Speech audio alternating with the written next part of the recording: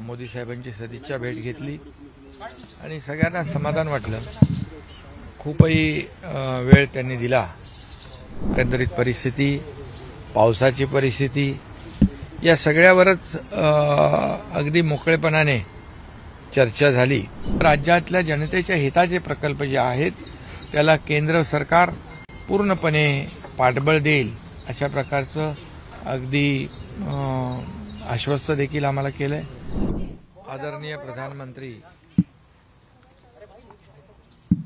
मोदी साहेबांना आज आम्ही भेटलो. आमच्या परिवाराची इच्छा होती. एक सदिच्छा भेट भेट घ्यावी. आणि सदिच्छा भेट आजची होती.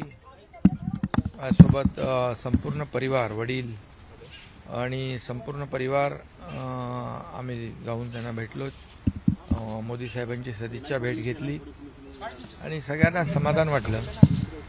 खूपही वेळ त्यांनी दिला आणि अतिशय निवांतपणे गप्पा चर्चा झाल्या.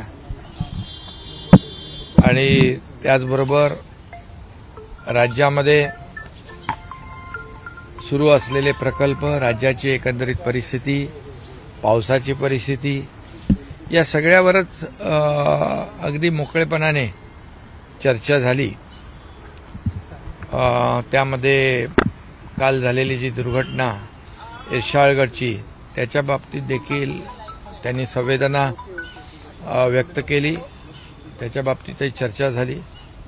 एकंदरीत राज्यात पडत असलेला पाऊस यावर देखील चर्चा झाली आणि जे ऑनगोईंग प्रोजेक्ट आहेत त्या प्रोजेक्ट संदर्भात देखील शेतकऱ्यांच्या बाबतीत देखील त्यांच्या योजनांच्या बाबतीत देखील चर्चा झाली. आणि एकंदरीत मग त्याच्यामध्ये अगदी आरोग्यापासून शिक्षणापासून पायाभूत सुविधा प्रकल्प जे आहेत मोठे प्रकल्प जे आहेत यावर देखील चर्चा झाली. आणि मी देखील आदरणीय प्रधानमंत्री महोदयांना विनंती केली. ते नेहमीच केंद्राचं पाठबळ आपल्या राज्य सरकारला आहेच.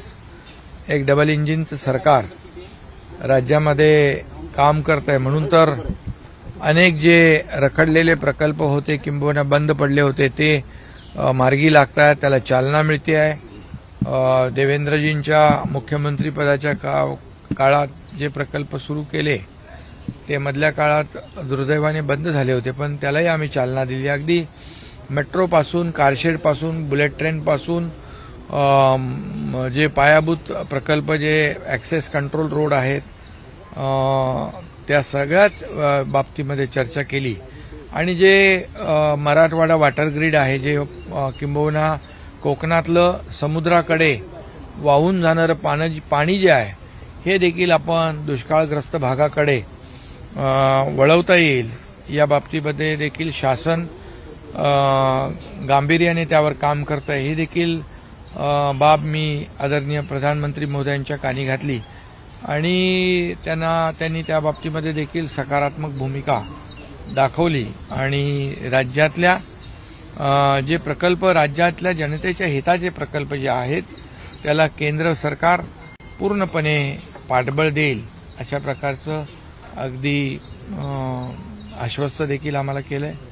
आणि एकंदर सगळ्याच विषयावर साधक बाधक चर्चा आजच्या या अ, सदिच्छा भेट असली तरी या भेटीमध्ये चांगली चर्चा झाली. आहे. एनडीएच्या बैठकीसाठी तुम्ही चार दिवसांपूर्वीच आलेला होता. पाठोपाठ आज लगेच दिल्लीत आलेला आहात.